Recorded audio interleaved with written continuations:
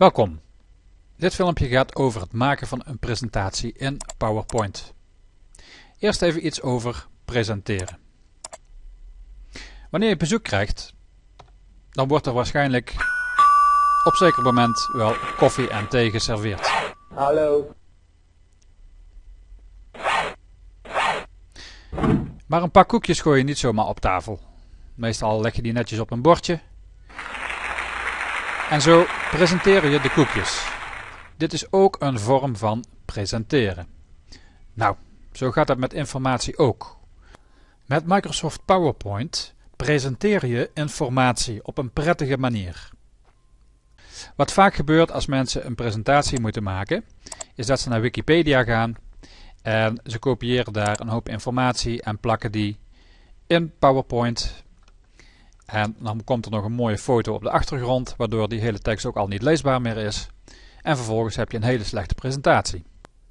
Nou, dat is hetzelfde als gewoon een paar koekjes op tafel donderen en zeggen: doe er maar wat leuks mee. Hoe moet het dan wel? Op zich is die informatie die jij op Wikipedia vindt niet slecht, maar die moet je natuurlijk niet zomaar in PowerPoint gooien. Dan kun je beter een boek schrijven. Deze informatie ga ik knippen en die zet ik bij PowerPoint bij de notities. Die ga ik hier plakken. PowerPoint kun je overigens starten door op de startknop te klikken en vervolgens hier PowerPoint te typen. En vervolgens klik je hier op het programma. Goed, we waren gebleven met het kopiëren van een tekst van Wikipedia en die zet je bij de notities, dus hieronder. Meestal is dat vakje maar heel klein, ik heb hem een beetje groter gemaakt. Die foto als achtergrond is een heel slecht idee, die ga ik gauw weer terugzetten. Wat je beter kan doen, is een achtergrond maken met een kleurovergang. Je kunt die kleurovergang zelf aanpassen door hier de kleuren te kiezen of door hier de kleuren te kiezen. Maak die zoals je zelf wil. Een kleurovergang is vaak beter dan een foto als achtergrond. Oké. We gaan de informatie lezen. Voetbal is een wereldwijde balsport waarbij twee ploegen van 11 spelers moeten proberen de bal in een doel van de tegenstander te krijgen. Simpele informatie. We gaan nooit hele zinnen in PowerPoint zetten. Meestal is één woordje en één foto per pagina meer dan genoeg. Bijvoorbeeld de eerste dia. Mijn onderwerp is voetbal. Ik laat gewoon voetbal staan. Ik zet er eventueel één plaatje bij. En dan is mijn eerste dia al klaar. Als je een plaatje in wil voegen in PowerPoint, dan klik je op invoegen. De snelste manier is om daarna te klikken op illustratie.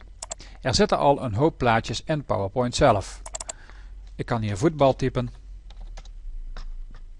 En vervolgens krijg ik een aantal plaatjes die te maken hebben met voetbal. Die plaatjes kun je gewoon slepen van links naar rechts. Kies er eentje die je mooi vindt. Als die te groot is kun je hem kleiner maken door middel van deze bolletjes te verslepen.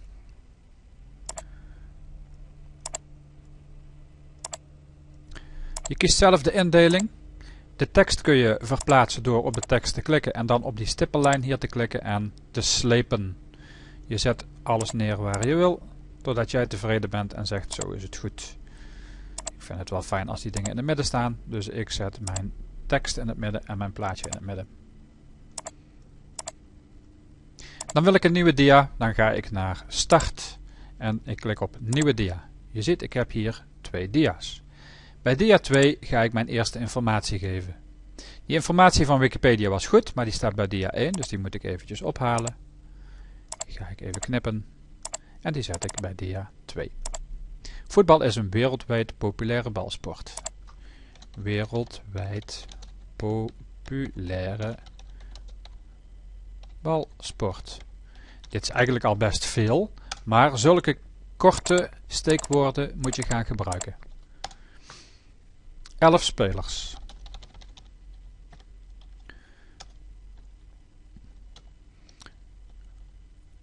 Het doel is de bal in het doel van... Nee, deze zin is te lang. Dus ik maak hem korter. Bal in doel tegenstander. Hoe minder woorden je gebruikt, hoe beter het is. Je kunt achteraf best een titel maken, uh, bijvoorbeeld algemene informatie. De opmaak heb ik straks al laten zien. Je kunt met de rechtermuistoets ergens aan de zijkant van jouw dia klikken en dan op achtergrond opmaken. Dan kun je een overgang kiezen. En die kun je toepassen op deze dia. Dan klik je gewoon op sluiten.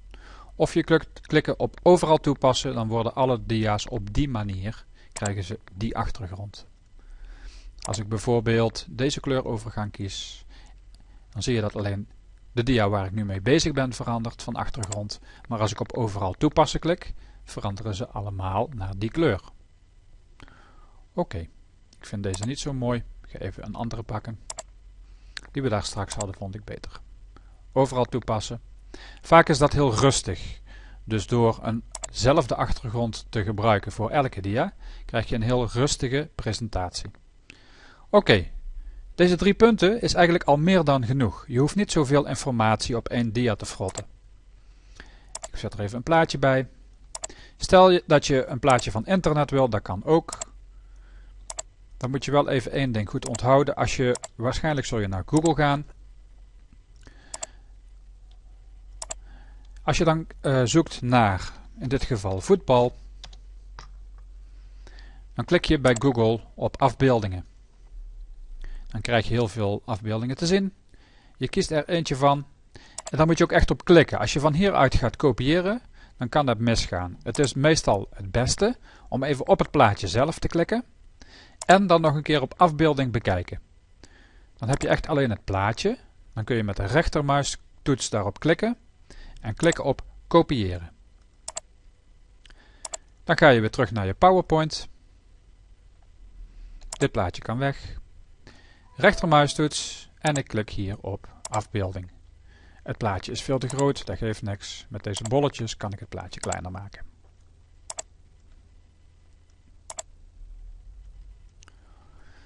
Zo maak je een aantal dia's met informatie. Ik doe het even heel snel. Zo, ik heb inmiddels drie dia's met informatie. En dit is een kleine presentatie. Ik sluit met de laatste dia mijn presentatie netjes af. Ik kan hier typen einde. De letters een beetje groter maken. En hier kan ik iets schrijven van uh, zijn er nog vragen? Of als ik dat niet wil, kan ik ook schrijven bedankt voor jullie aandacht. beetje groter maken. Al klaar. Zo krijg je een hele rustige presentatie. Met korte steekwoorden, niet te veel lange zinnen. En de rest vertel je er tijdens jouw presentatie bij. Dat is een goede presentatie. Oké, dus even kort samengevat. Niet kopiëren en plakken. Gebruik steekwoorden en gebruik weinig woorden per dia. Oké, dit is het einde van dit filmpje over presenteren en het maken van presentaties in PowerPoint.